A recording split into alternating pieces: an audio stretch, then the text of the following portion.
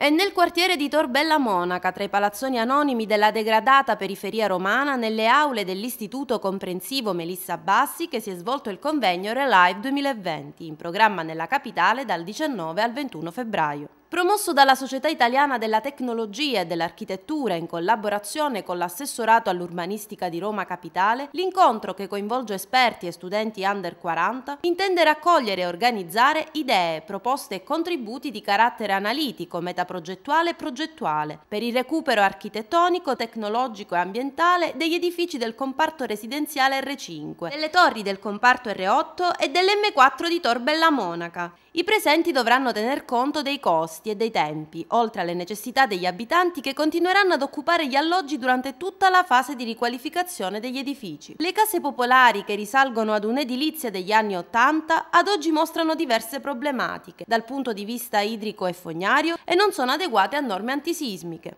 Al dibattito è seguito un vero e proprio sopralluogo lungo il perimetro dell'area interessata. È stato organizzato questo sopralluogo a, a due comparti del, mm, diciamo, dell'edilizia residenziale pubblica di Torbella Monaca, in particolare sono l'R5 e l'M4, che eh, sono oggetto di una gara di progettazione sostanzialmente, di un concorso di progettazione per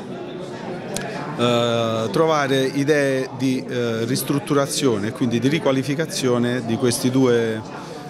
comparti in, dal punto di vista sia tecnologico e, e, e sia del risparmio energetico. Quindi eh, questi professionisti che arrivano un po' da tutta Italia eh, si cimenteranno nella mh, progettazione di eh, recupero di questi, di questi fabbricati che ormai cominciano ad avere